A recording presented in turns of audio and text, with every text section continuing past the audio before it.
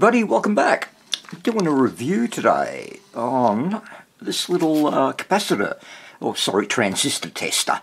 And um, I first picked up on this um, from um, emails from AliExpress, you know, um, just ads. And um, so I look, looked interesting, had a look at it. And then I checked some reviews out on YouTube and they all seemed positive. So I thought, hey, why not? Won't use it much, but uh, it will certainly come in handy for um, you know, chicken uh, MOSFETs, whatever, you know, all that sort of thing, capacitors, resistors as well, you know, um, even LED, LED lights, I suppose. So um, let's check it out and uh, see if it does live up to the, uh, the hype on it. Anyway, what did I pay for this? Um, $37, I think, and that was with postage, so not too bad. Okay, there it is. Tiny little thing. Okay. A bit thinner than what I thought, but then doesn't need that much, does it? So what have we got? Okay, lock our um, component in. Cool. And it's got to have some battery somewhere, I suppose. What else do we get with it?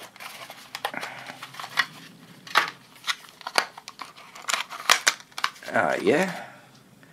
Uh, sticker and of course our little clips, hook clips, and uh, this thing here, which um, you can, from what I've seen on videos, take that little uh, thing with the slots off, and uh, that fits onto it.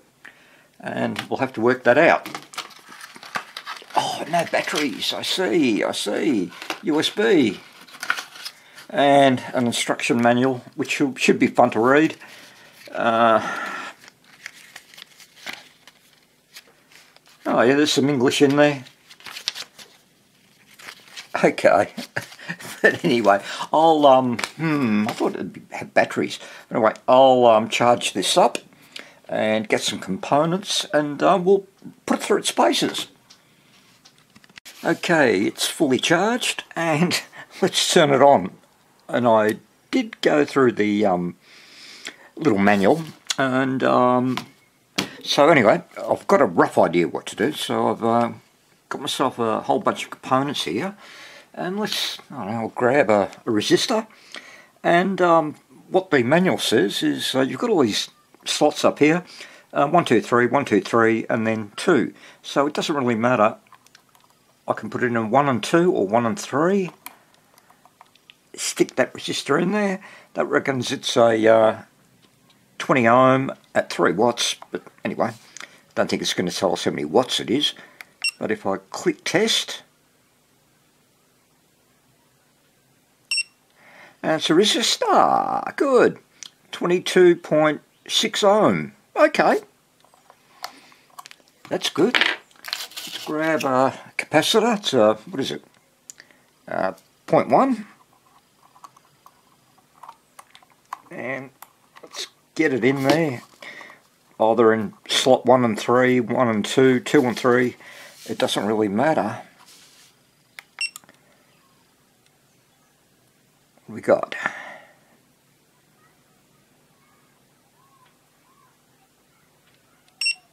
Yep capacitance. 93 NF so yep close enough to 0.1 so far so good. Alright now let's test some uh, transistors, and this is this is why I got it. Because um, I'm I don't deal with them much. and It's not going to fit in. I don't deal with transistors much, and you know, trying to work out whether they're a PNP or an NPN, I've got to go onto the internet and hopefully find myself a little video that explains it simply.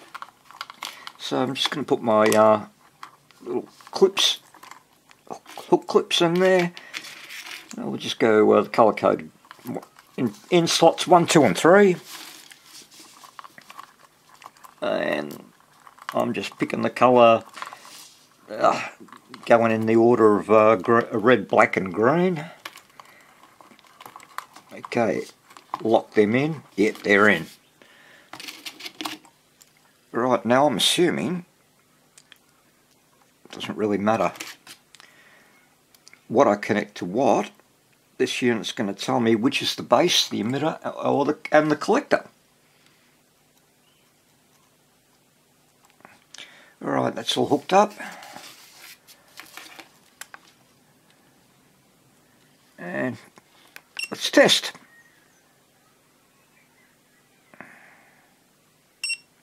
Right, so it'll tell me here. It's an NPN, okay. And, um, okay, one is the emitter, two is the base, three is the collector. Cool! And some other stuff there. UBE, I don't know what UBE is. IE, 1.03 milliamp, and HFE, don't know what that is, 108. Hmm. Well, UBE 457 millivolt. Okay. Don't really know. But I think it's okay. And I've got a an old, probably uh, germanium transistor here. And we can test that too, why not?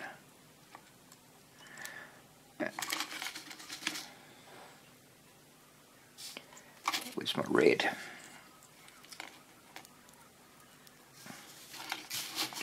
And turns itself off pretty quickly too, which is probably good. Okay, test. It tells me it's a diode. Ah, okay. Ah, hold on. My lead came off. Okay. Hmm, the black one doesn't really want to sit on there properly. So let's try that again. There we go. It's a PNP. And uh, yeah, okay, one's collector, two is the uh, emitter, three is the base, and UBE, I'm just reading these things off, 66 millivolt, IE 54 UA. I didn't know what UA meant. I, I don't anymore.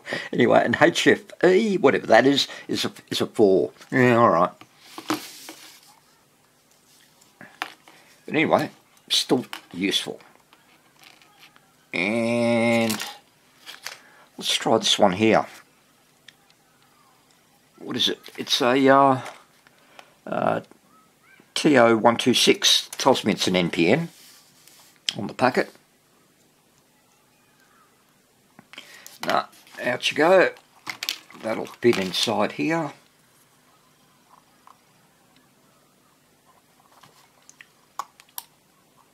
When I can get it to go in,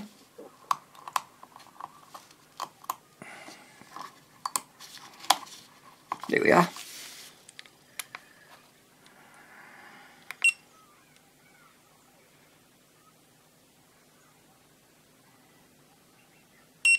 Uh, okay, NPN, yep, alright, cool.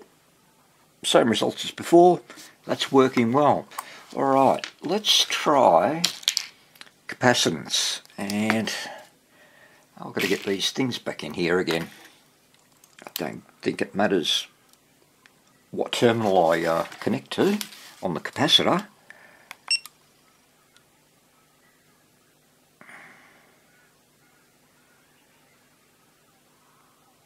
Taking a while. Right, uh, V loss, must be voltage loss, 1.2%. ESR 0.01, which is very good. Um, I read on the net that um, anything under 0.1 is uh, 0.1 ohms is good on ESR, and capacitance is it's 1 uh, space 0.0 micro, microfarad. Anyway, probably can't read it, or that's close enough to, it means 1000, I don't know. That's pretty good. Now I've got here uh, a 10,000 um, microfarad at 40 volts and it's a dual cap, dual cap. So and just put that onto the negative. Let's go with one of the positives, see what we get. I thought I'd keep that cap just simply it's 10,000. Hopefully it works.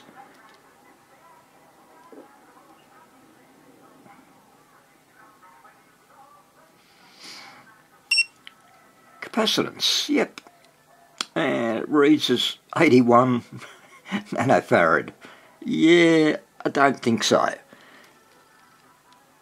What's the other terminal give me?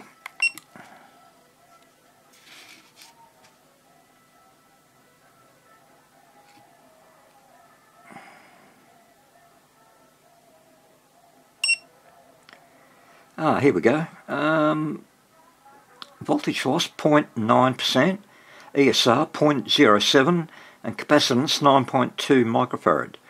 Okay, so I'd say that one's okay, but that one I think is shot. So um, I think I'll just dump that. Might as well. Or, yeah, I'll dump it. I'll dump it. Okay, another thing I wanted to check was uh, micas. Always had trouble measuring these bloody things on my multimeter. Oh well.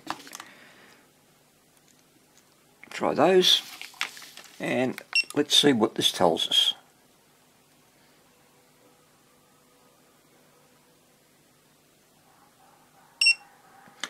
and it's um yeah capacitor of course 85 picofarad nice cool that's going to come in handy measuring those things and I've got here pardon I've got a bag which I got out of one of my lucky dips and I have no idea what these um, little caps are so hopefully this gadget's going to tell me, or tell us.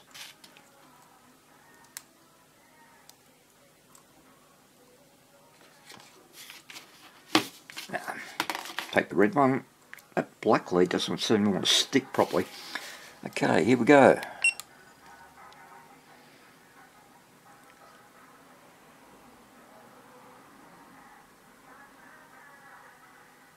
Taking its time.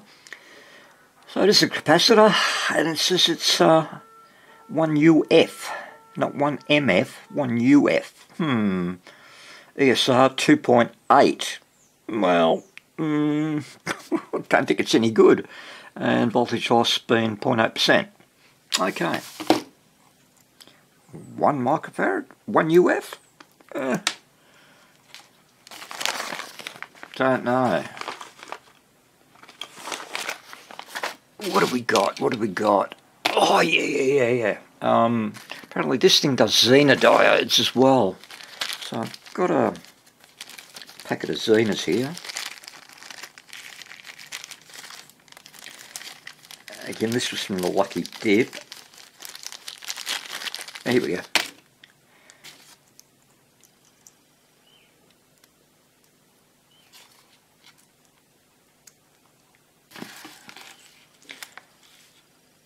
and as Zener, oh I've got to actually press Zener there, test it.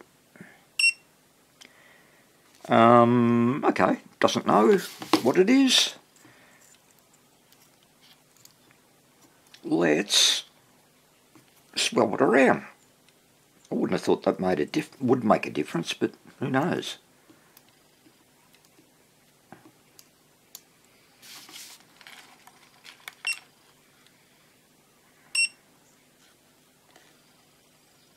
Oh, my mistake, my mistake. Pardon me, I forgot. For Zeners, we have to go down on the um, on the bottom rung here. It's uh, don't if you can see it says KAA. So one lead in the K slot, another lead in the one of the A slots, lock it in, Let's see if it works. Nope. Okay, I'm going to swap it around.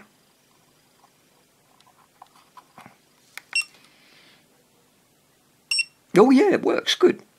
Uh, VEXT, Vexed, 0.74 volts, uh, plus minus reverse insertion. Okay, um, don't know. But, looks okay looks okay. I'm, I'm guessing. but it recognises it anyway, so that's cool. Um, this tells us the orientation of it. I, like that. Well, guys, that's it. Um, done capacitors, um, resistors, diodes. Oh, diodes. Sure, I have got one. Where is it? Where is it? Here. We'll use a LED. Light emitting diode and I'll just whack them in there up the top. In slots 1 and 3, that should do. Actually, let's see if that uh, glows. Oh yeah.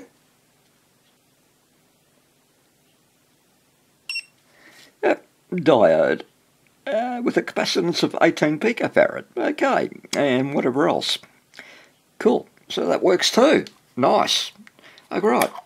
That's it. I'm not going to test anymore. Um, I think it's a great little gadget and I'm going to use it. It does other functions as well. Um, it can uh, read um, infrared as well, um, if you're into that sort of thing. Yeah, IR decoding, so you you flip that up, and then you'd uh, get your remote control and go zap. Might do that one day. But anyway, that's it. And I think for, you know, 30 odd bucks, not bad. Not bad at all. So yeah, I'm I can't see anything wrong with it. So um, I think that'll that will come in useful in, in the future. Anyway, just wanted to show that to you guys in case you haven't seen them or you were thinking of getting one. Well, yeah, I would. So anyway, that's it for now. Thanks a lot. I will catch you all soon. Bye.